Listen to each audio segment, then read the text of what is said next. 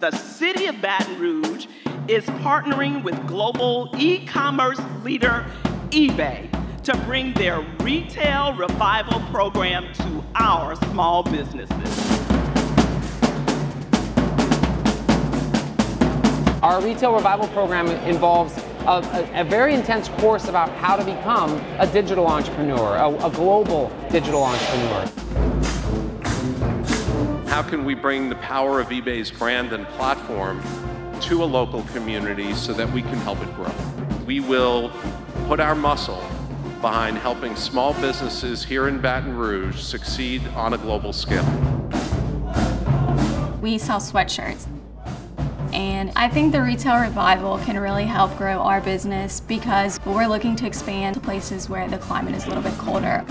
So opening us up globally on an, as an online presence is huge. Our growth potential, especially for this store and the record, record sales in general, is, is phenomenal. It takes some of the stress off of the business owner to have to find all of the ways to list the garments. And they're giving us the, the help we need to create a great online presence. eBay is a platform that supports small business. It's really the lifeblood of our company. We chose Baton Rouge because Baton Rouge is awesome. Today, we're taking yet another step to ensure that Baton Rouge is wide open and ready for business.